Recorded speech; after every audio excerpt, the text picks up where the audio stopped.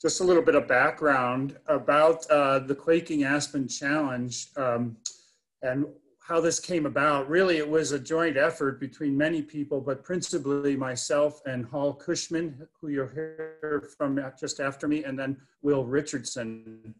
And uh, as Moira said, this is a joint um, sponsorship by the Western Aspen Alliance and the Natural Areas Association. I want to say it's been a wonderful relationship uh, working with this group.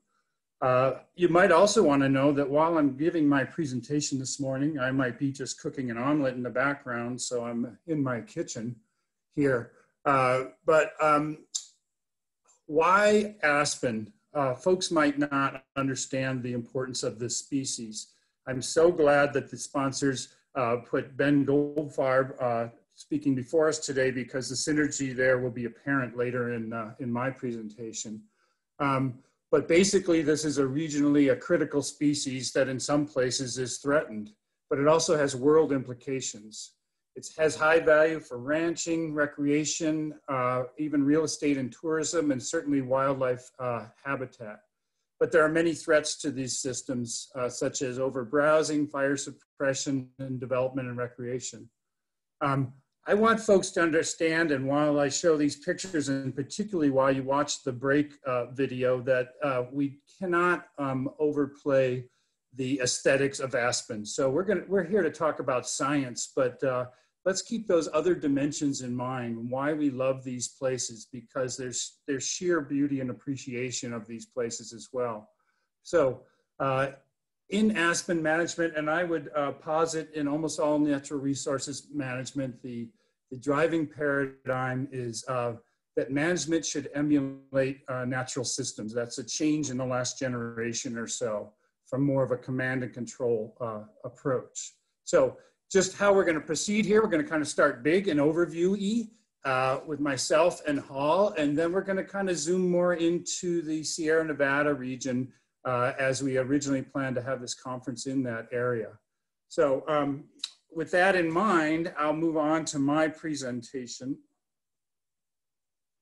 Uh, oh, I should emphasize also why we think of this as a challenge. We hope to challenge your views. If you learned about aspen ecology 10 or 20 or 30 years ago, I want to tell you there's a lot of change going on, and you're going to hear about that from our speakers today.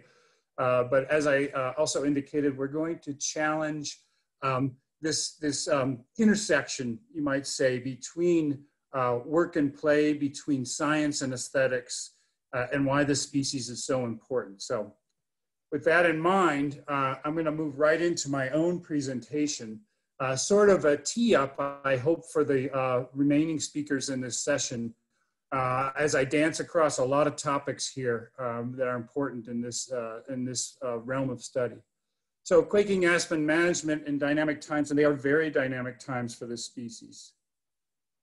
Um, as Moira indicated, I work for the Western Aspen Alliance. It's based here at Utah State University. It's essentially a nonprofit that is uh, research and education focused.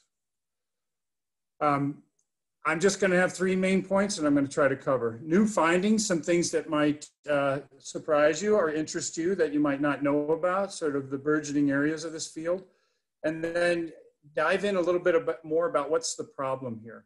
Uh, why all the interest and what's going on? Um, and then some effective actions. So, so more in the management realm near the end. Some new findings. Uh, we've been told for decades that aspen seedlings are rare.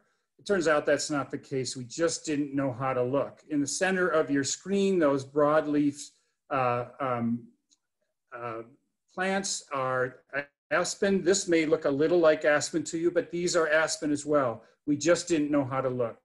Now that we focus our eyes and we understand how to find aspen seedlings, um, we're finding them in almost every wildfire uh, in the West that we've visited. We'll just go back quickly here. Uh, co-sponsors, uh, um, and that we're focusing on these uh, new aspects of Aspen.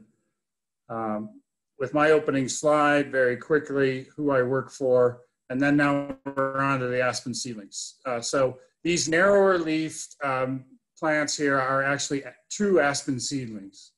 And so this adds genetic diversity, of course.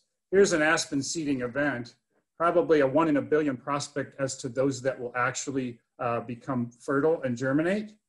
And there's a, a whole raft of good papers uh, in the last decade that are documenting this. And I want to point to the one in the lower left there that just came out last month about how to identify seedlings versus suckers, because that's really important. I am not very talented at that. I haven't spent a lot of time doing that, but if we're going to understand this, we're going to have to um, have to just begin with the identification.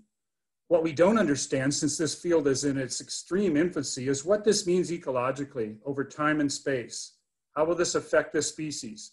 A species that in some areas is threatened by various um, impacts that I'll get to in a minute. Another new finding that's on its way is looking at, uh, at ancient forests and fire uh, using um, charcoals, a field called pedoanthracology. Uh, this is a colleague of mine, Tony Kuspak from the Czech Republic, and we're here at the uh, Pando Aspen Clone in central Utah, which I'll return to in a minute. But basically, um, looking at these tiny charcoal fragments and not only identifying species, but identifying how long in the past they existed through carbon dating and their relative abundance through time in different layers. And so that we can understand fire occurrence and what other competing species, what other um, competing species were at that site at that time. Uh, this is a little bit different than pollen, uh, when you look at pollen studies, which collect pollen in a lake, and look at a watershed. This is more of an in situ study so that we know exactly what was happening at that site several thousand years ago. Um, just a quick illustration of that. On the right is a Palmer drought uh, index. To the left of the center line is droughty periods, and to the right is uh, some moist periods over the last thousand years or so. And what we can do is line that up with, uh, this is a preliminary data from this study, with periods in which, for example, Douglas fir uh, had a little bit of a surge within the Pasto, Pando clone, which is now considered a stable aspen community. I'll get back to that term in a little bit, but a community in which aspen grows purely and doesn't really uh, compete with other species. So a lot to unravel there in terms of back in time. Another important new finding, and this paper is in review as we speak, um, is the intersection between aspen sage grouse and climate. Uh, sage grouse ecology is uh, dependent on the idea that uh, sage grouse avoid trees because it's dangerous and predators live in trees. Uh, well, not so fast. You know, uh, as, uh, sage grouse are using these species, particularly at the lower um, aspen sagebrush ecotone across the Great Basin, across the Colorado Plateau, uh, and we're just finding out about this. But this study, basically, uh, this graphic shows that on the left, as you, you're nearer to the uh, aspen edge, there's a higher use by sage grouse during the brooding period, and lower as you go at distance from that. Um, again, this study will come out pretty soon, so it has great impacts potentially for sage grouse habitat, particularly upland habitat that's away from riparian areas where aspen is the relative moisture on the landscape, uh, but also on, on, on, aspen ecology and how that interacts with herbivory. That photo in the background, that aspen stand is not reproducing very well and would be uh, soon collapsing and in just one species use of that sage grouse would diminish significantly. Another new finding is expanding our, our aspen work uh, in the US and North America across the, the world and particularly focusing on world biodiversity and working with a number of colleagues in this paper published last year in a review sense, uh, the value of biodiversity uh, is a unifying thread across the world in six different aspen species, undergoing some of the same threats that we're seeing here. And then grossly speaking, uh, here we have sort of a hypothetical, uh, since time one after disturbance, uh, aspen development with the yellow line uh, competing conifers in a seral system. But as those two intersect and conifers perhaps take over shading and aspen declines, the most important line here is the aspen obligates, all that high biodiversity of, of species that depend on aspen systems, and they follow that same trajectory, trajectory excuse me. So what is the problem here? Actually, there's a raft load of problems, which I don't have time to go into great detail about. This photo on the right is also from the Pando clone. This area uh, just surrounding these, uh, what, five or six remaining trees was cut 25, uh, 30 years ago, uh, and there is no forest growing back there at all. Uh, this is part of the problem, and let me dive into that. We've been talking about aspen decline uh, for decades now. That's when conifers perhaps take over where aspen was more uh, predominant at some other time period. But not all, st all stands uh, are interacting with conifers, and so there's a different ecology there. Um, some of that, um, that aspen decline work uh, was faulted by methods that probably don't make a lot of sense, and I don't have time to go into right now, but basically they were saying that every place that there was any aspen uh, was once dominated by aspen, and that's not always true. Then we have sudden aspen decline, a sudden die-off with drought of aspen. Um, and we find that to be often not true too, at least in most regions of the West, that there's, there's complicating factors, interacting factors. Climate and drought certainly poses challenges to aspen, particularly where it's near its margins of existence, either lower elevation or quite a bit farther south in the US. Fire suppression uh, certainly had some impacts, but I would posit the idea that uh, climate through the 20th century had a much bigger impact uh, on, on forests in general, but also um, on aspen um, uh, decline, you might call it. Herbivory and wild, uh, both wild and domestic species is probably the largest issue across the West, in my opinion.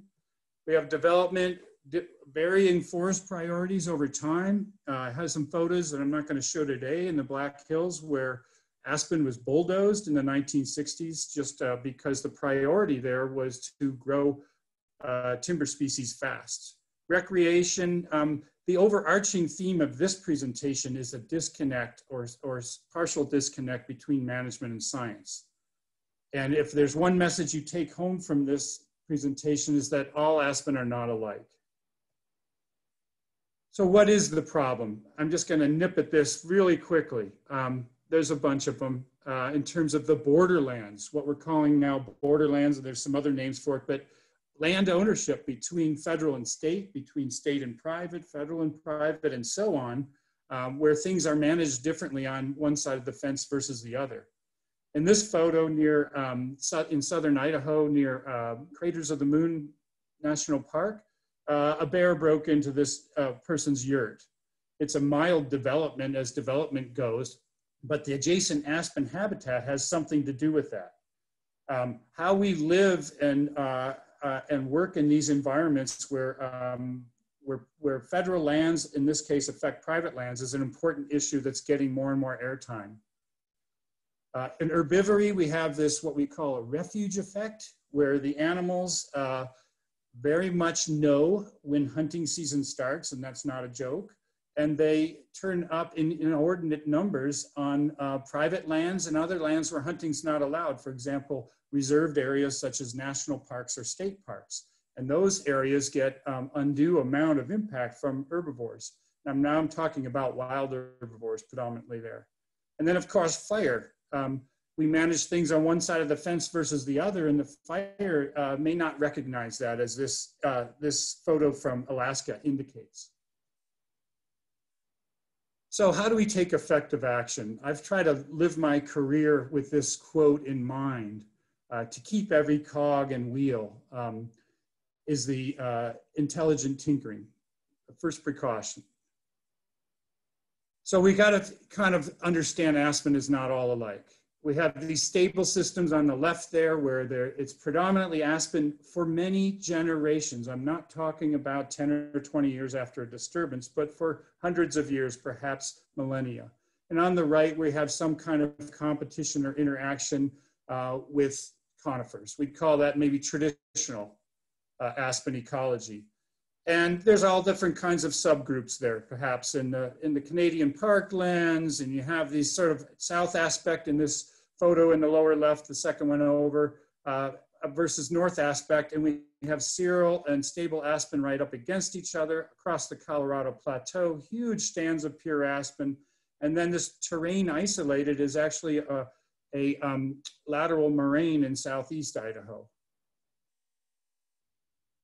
We have these other types in seral communities, montane and boreal uh, aspen, um, and then we have some crossover types in riparian. We have kind of both types may exist there.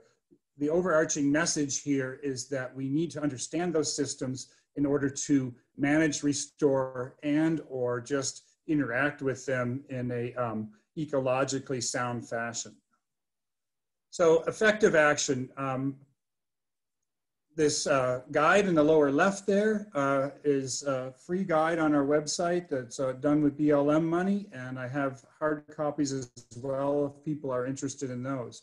But basically to lay out a system, and this is really common sense, but we often lose track of where we're going, uh, and especially as um, resources get pinched, money, time, people, and so on. But understanding these issues, what type of aspen, what's the ecology of that system, as best we can. We cannot nail that down perfectly, but as best we can. Understand the issues, bringing in more and more people. This is also contingent on the idea that we're dealing in an era of collaborative problem solving, often multi-agency, private, public, and so on.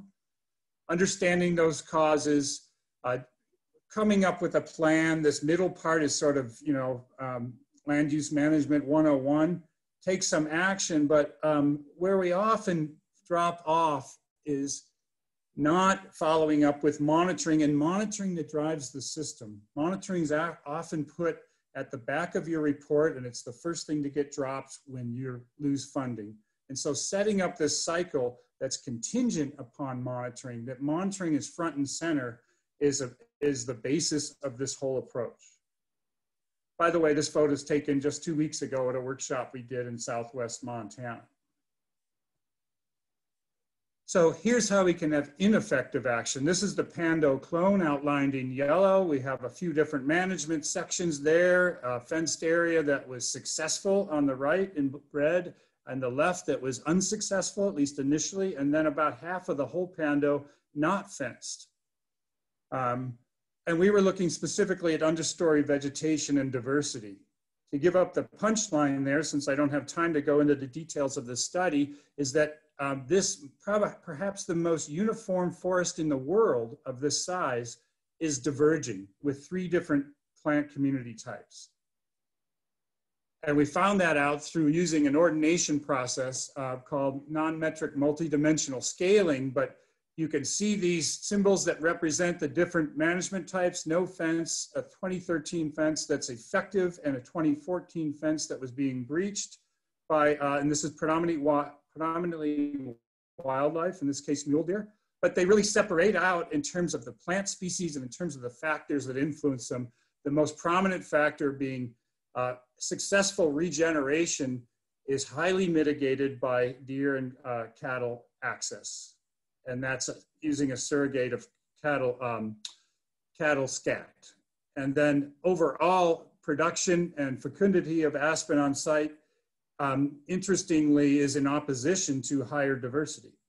So more light uh, gave us more diversity, but the most important thing is there that you have three different, um, three different forests essentially in, in a very uniform, genetically uniform 106 acre forest and, and, and again, trying to cut to the chase here, there's a number of interacting factors and they're centrally driven by human decisions. So effective action. These, these individuals from uh, um, Wyoming Fish and Game in the red shirts are standing in the middle of a former aspen forest in a fairly dry site in Southwest Wyoming. And we're all, after we finished crying, um, we're all pondering kind of what went wrong and what we can do. And it's an intensely browsed system that's subject to high drought. Well, we can take preventative matters such as building a number of kinds of fences, everything from wire to this buck and pole to um, using materials on site to just stack things and prevent um, wildlife from getting in there. Uh, but we shouldn't lose sight of the, the base causal agents. In many areas, there are too many wildlife without significant predation and I'm talking specifically now about elk and deer, uh, in addition to domestic livestock, cattle and sheep. So we can take preventative action or we can take adaptive action uh, or combine the two. But basically this is a fire also in Wyoming in which uh, two years later we have some regrowth, but it's very stunted because of browsing. And so the crew is sitting around thinking, okay, how do we alter our, um, how do we alter our management because our monitoring is showing we're getting no regrowth and we have a dying forest. So the combination of fire and browsing or drought and browsing is deadly in many uh, aspen forests. So some other effective actions, there's um, prescribed burning. Again, you wanna monitor first to see if you have a browsing issue or some other issue before you take action, and then perhaps take some actions to mitigate that before you uh, lay your total bet on the table, so to speak.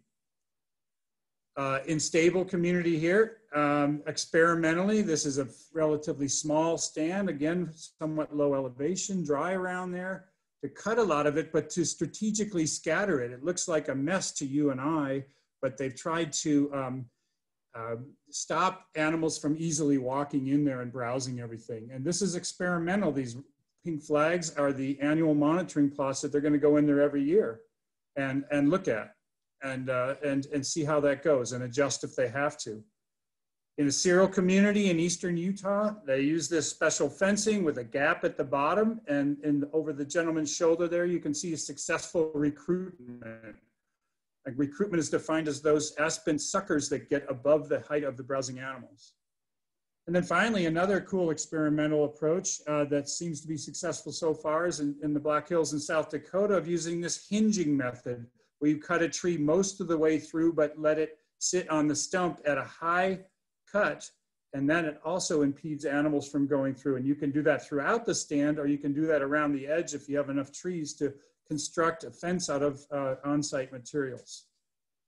So finally, effective action. Um, this is a site, uh, Spawn Creek, near where I live in northeastern Utah, that's subjected to, uh, and this is in deference to uh, Ben Goldfarb's presentation, uh, intense uh, beaver um, habitat development, you might say. Cattle have been blocked out of there. Um, some people would call this do nothing. I'm baffled by that, by that phrase, but it's often used in a cynical fashion by land managers, this to do nothing. And you might look at this, particularly if you're coming from a forestry perspective and say, this looks horrible. Well, first of all, this is in the spring and not all the leaves are out on the aspen. But what we have here is aspen of all ages. We have a, an expanded wetland in the base. And we have the interaction of two keystone species, beaver and aspen, doing amazing things. The avian diversity on this site was through the roof. The plant diversity, because you have all of these different, um, these different age groups is fantastic. So um, we got to look again. And overall, we need to talk to each other. Uh, cross-agency, interdisciplinary, transboundary to get things done. And I heard some speakers allude to that yesterday when I was sitting in on the conference, but it's pretty critical. Uh, sometimes the uh, passive management approach is the right thing, but I wouldn't say we're doing nothing. We're understanding the ecology and working with that system. So with that in mind, I wanna thank you for your attention um, and uh, recommend you go to our website if you're interested in aspen ecology or educational materials. And I wanna finally thank the people who sponsor uh, my work. Bureau of Land Management, philanthropic organizations, and of course, Utah State University and the Ecology Center here at Utah State.